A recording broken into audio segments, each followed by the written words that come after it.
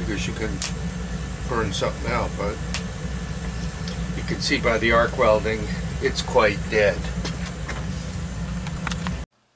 Hey tubers, welcome back for another adventure. If you guys recall, my last mega deal came with two motors.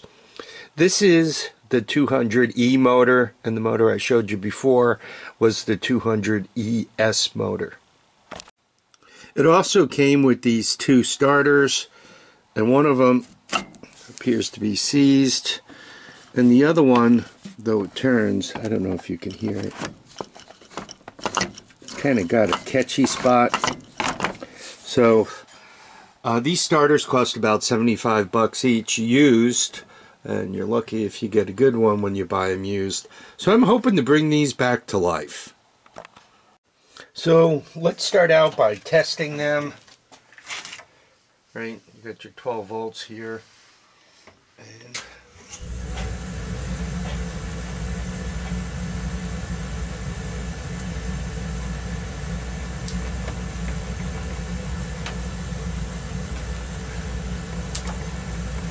I got a little sparking on that end, but nothing else. And this guy is seized, so you really don't want to put juice to it too much.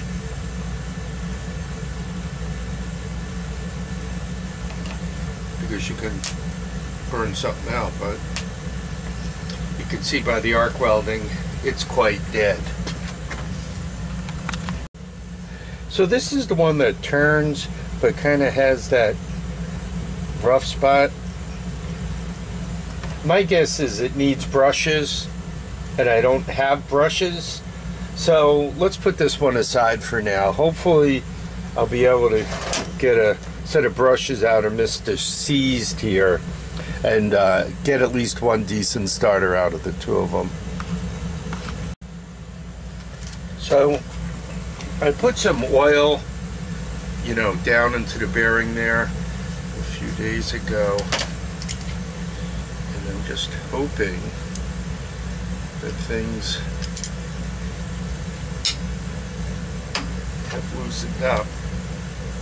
And that does not appear to be true.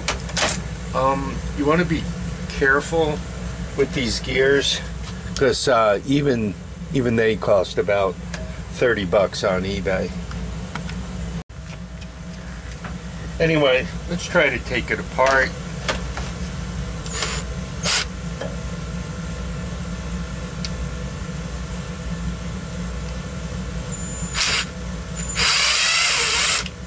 Oh, that's good.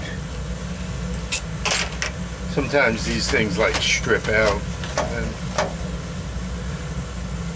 then you're just in a bad place. Nice. Alright, brushes are off. Luckily, uh, or the bolts are out. Luckily, when you uh, when you have the attachment, that means the brushes are on this side of this plate. Sometimes you uh, you pull the tail off, and the brushes and wires and the whole bit come right loose with you.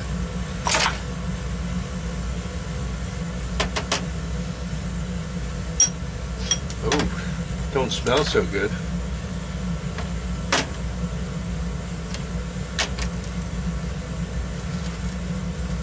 Looks like my brushes are about shot. Still not turning. Well, maybe we could tap it out of there. I keep checking. I want to make sure that I'm like not talking to myself while I'm showing you nothing.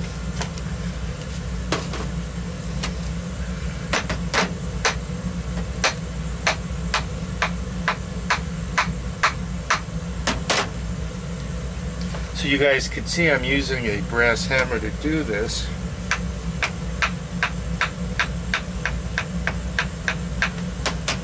Seems to be coming out. So, I'm thinking rusty. So this uh, this thing died of uh, weather.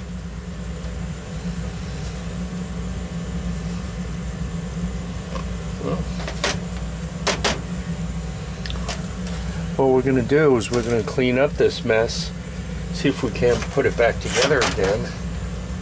Oh no, front bearings. Oops. now let's be smart here. Right. Front bearings locked up, or the front bearings really tight. Now, what should happen is this starter should get a rebuild, new bearings, um, new brushes, the whole shooting match. But I don't have that, and I want to. I want to see if it's even viable. I don't want to spend 20, 30 bucks on brushes for a dead starter. So, anyway, let's clean up and see what we could do. I like to use this Lock-Ease. It's a kind of a liquid graphite. You got to shake it up to make sure you get the graphite back into suspension. But with that, you know, it's loosened up nicely. Bearing feels good. So we're happy about that. That gets us part way there. Now, put a little emery cloth to this, get this cleaned up, get the brushes cleaned up, and uh, hopefully clean up in here. Hopefully we can put it together and get it to work. So, think you guys could see. I've cleaned those up, right, just use a little of the emery, and I clean this up. I'm going to uh, use a uh, tacky rag to get all the extra dust out of there. There appears to be plenty of brushes left here, but this guy, this guy here, isn't moving. Sometimes these things get welded up from um, trying to start them um, and, and, they don't turn right? They, so they just sit there and get cooked. So anyway I'm going to spend a couple of moments trying to free that up see what we can do. So I don't know how well you can see it. But I have the brush pushed out my voice is probably louder and softer for me moving closer to the camera and away from it. But if you, I'm just gonna carefully scrape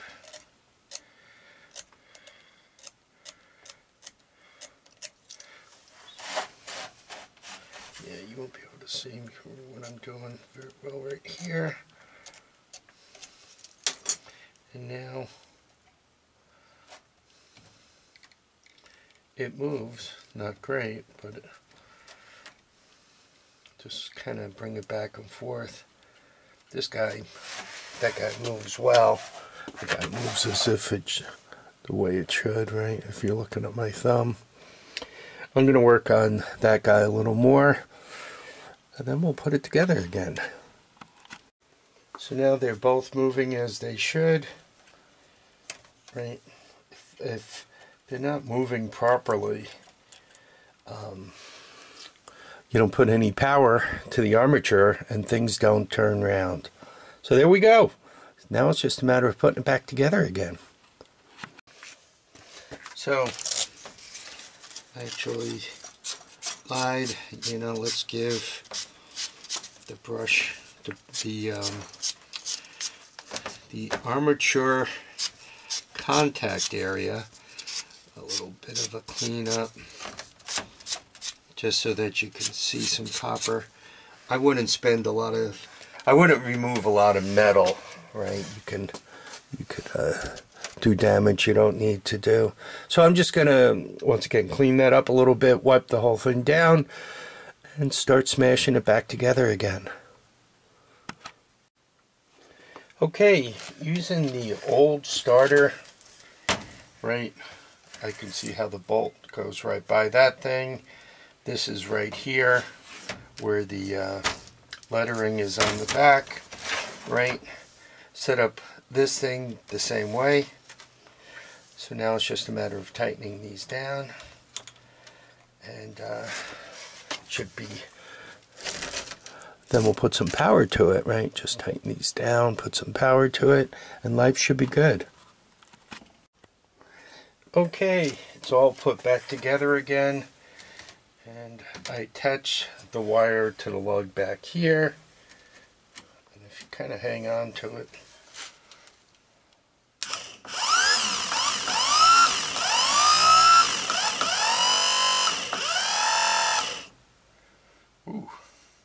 mean, it goes goes round.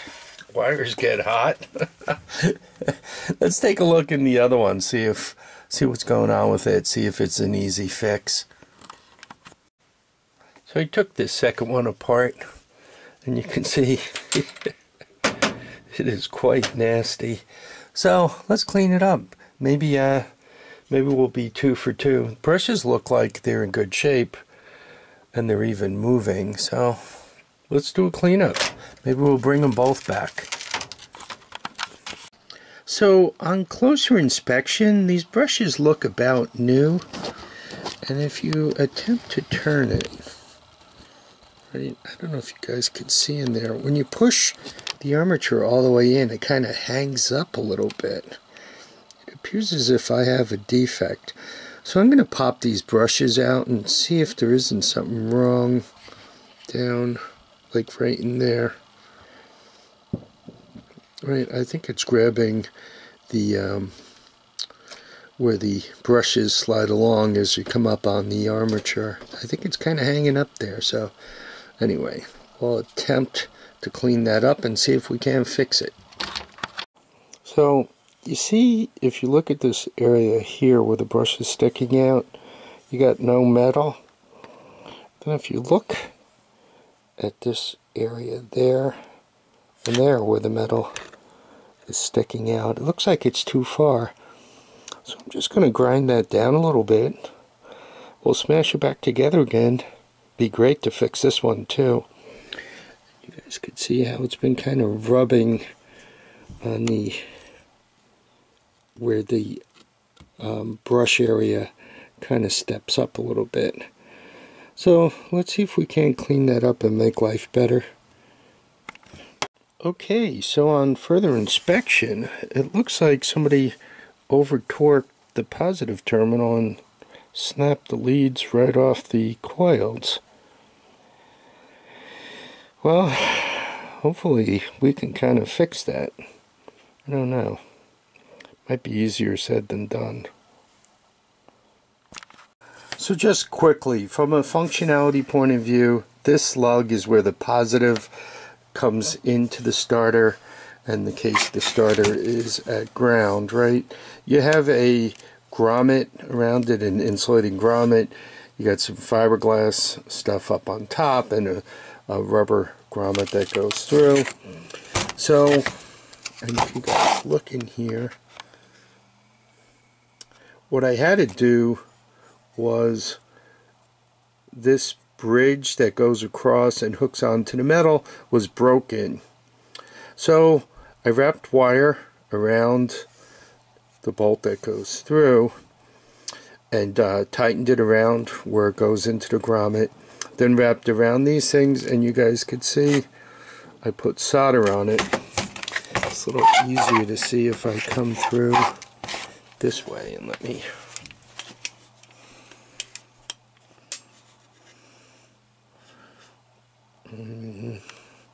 there we go.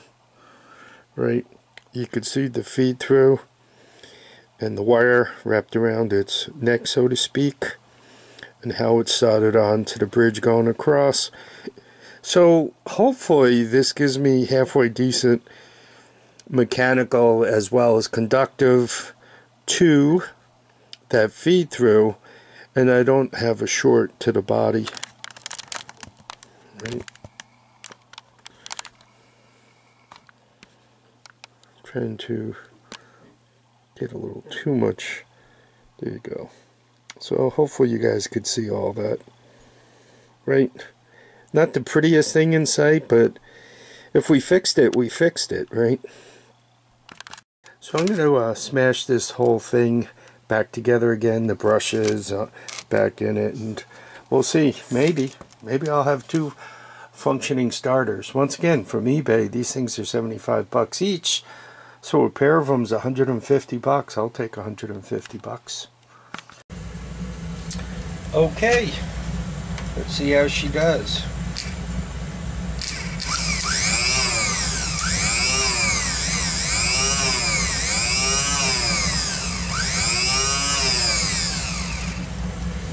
Seems to spin up better than the other one. Well, such is life, eh? Anyhow, I think I fixed pair of starters, at least one of the two. This one seems to work better than the other one, but I'll I'll take that. Um, I made a video of everything I got with that $300 mega deal, right? First, um, I mean, we took a quick look at the all-terrain vehicles, the motor, and then the rest of the stuff. I, if you guys want me to, I can put that video up just to uh, show you what else, all else uh, showed up in that deal. I was, um, well, I'll put the video up and let you guys look. I think you guys will think it was uh, it was a good deal as much as I did, especially now that these two starters work great. Um, it would cost me 150 bucks to get the pair of them, and even if the first one I did isn't great, a lot of times they say it works, right? They put a battery to it just like I did. And if the thing whirls about, they go, oh, look, it works. You know, what are you complaining about? So there we are. Anyway, I want to thank you all for dropping by to watch and comment and subscribe. Please remember to keep your feet down, your heads up, and get out there and rebuild a starter today. Weather isn't great, so you might as well get some basement work done. Take care now. Bye.